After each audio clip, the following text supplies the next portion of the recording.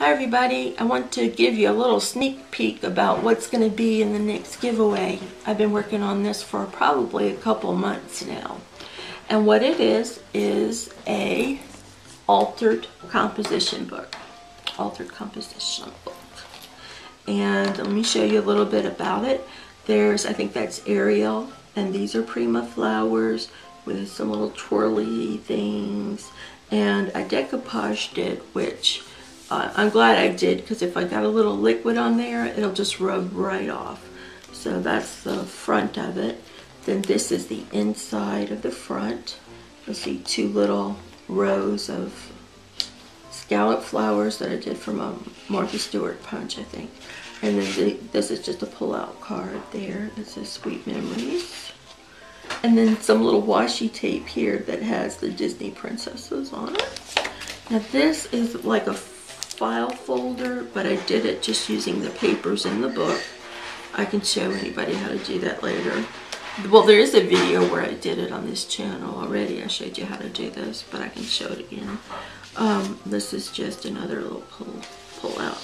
Um, we've got Cinderella and Belle. So that's what's in that side. And then this is the back of it. And there's a little pull-out folder thing.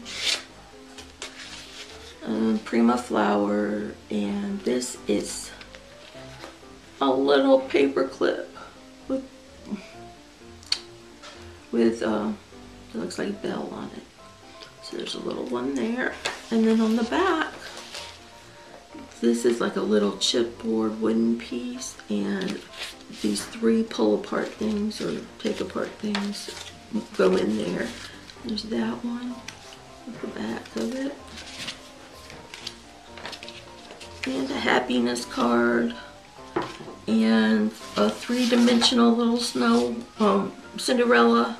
And then Ariel again, some Prima flowers. And what does this say, Mr. Smarty Pants? The whisper of a pretty girl can be heard over the roar of a lion. Yes, that's true. Okay, and here's the back. Some more Disney princess stuff. And what does that one say? Life is about the pretty little thing. Yes, it is. So this is my Disney princess book and I just love it.